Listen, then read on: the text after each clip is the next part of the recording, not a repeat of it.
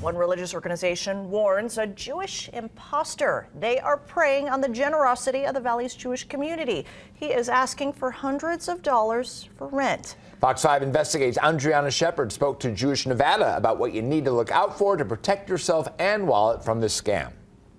Jewish Nevada told me this scam has been making its rounds for decades, yet several of its members lost hundreds of dollars.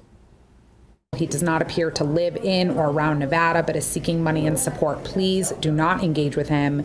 Do not send him money. Stephanie Tusman emailed that warning to all Jewish Nevada members Saturday night. It came after several wondered if that organization knew of an Idan Brook in need.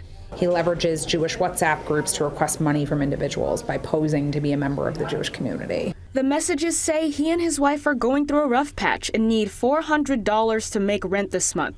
The imposter even mentions other Valley organizations and synagogues to be more convincing. It feels disgusting and it feels, um, you know, not good, but uh, but it's actually very smart. And some members fell for it. I was surprised that people didn't do a little bit more research, like reach out to Jewish Nevada to question um, whether or not this is a gentleman we knew or that we had tried to provide help to before. If someone comes across the scam and has not seen your email, what do you want them to do? Don't send anyone money that you do not know. Call Jewish Nevada. We're happy to answer any questions that you have.